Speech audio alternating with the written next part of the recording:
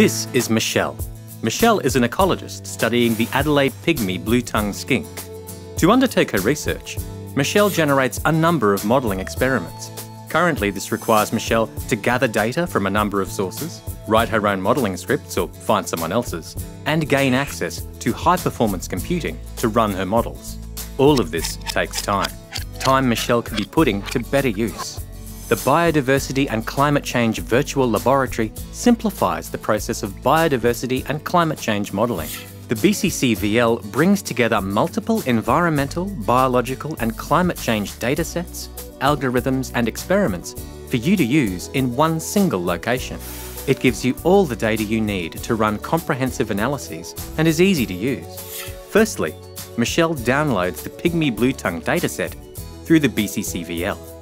From this point, Michelle now has the option to run a species distribution model or a species trait experiment. As Michelle is interested in where pygmy blue tongues can be found, Michelle runs a species distribution model.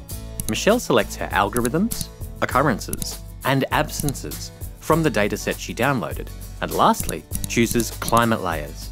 Once Michelle's species distribution model is complete, she has the option to extend her research to discover future habitat locations and the species that share that habitat by running projection and biodiverse experiments.